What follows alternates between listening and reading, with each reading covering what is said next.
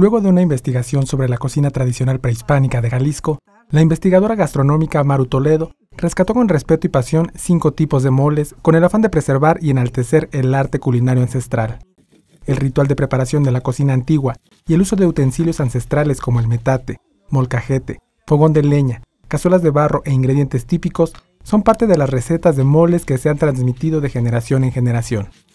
Maru Toledo es autora de 21 libros de cocina prehispánica y lleva a cabo el proceso de rescatar los diversos tipos de moles que se encuentran en los municipios de Jalisco.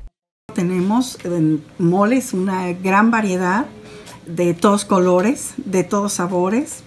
Tenemos moles a base de puros chiles, que además no necesariamente son picantes, pero tenemos moles dulces, moles verdes, eh, moles picantes, moles muy picantes, en verdes, en rojos, eh, otros casi negros. En sus recetarios imponen la magia de la gastronomía y tras años de investigación, se instala en la Casa Santina de la Covadonga, donde recibe a chefs internacionales, estudiantes de gastronomía y a comensales amantes de la cocina tradicional.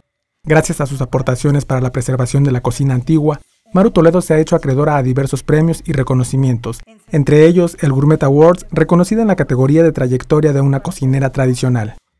Con información e imágenes de Lucía Lizárraga, corresponsal en Jalisco, Notimex.